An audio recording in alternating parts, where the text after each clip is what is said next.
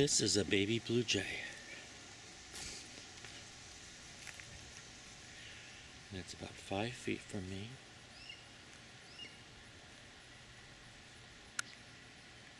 And it's just learning to fly. And it's scared. It's stand it's staying still the way it should.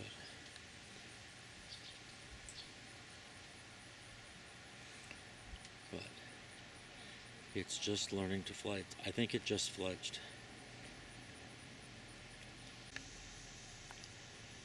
Yep, this is a little bit more of our baby blue jay. He's just staying so quiet there.